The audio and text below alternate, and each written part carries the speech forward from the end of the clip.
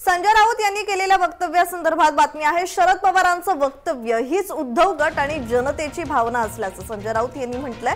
तर जे शिवसेनेबाबत घडलं ते राष्ट्रवादीबाबत घडेल असं म्हणत संजय राऊतांनी निवडणूक आयोगावर निशाणा साधलाय.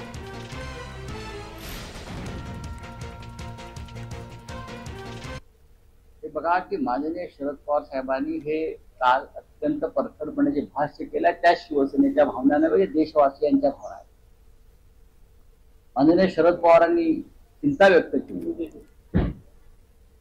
की जे शिवसेनेच्या बाबतीत घडलं फुटीनंतर ते राष्ट्रवादी काँग्रेसच्या बाबतीत घडेल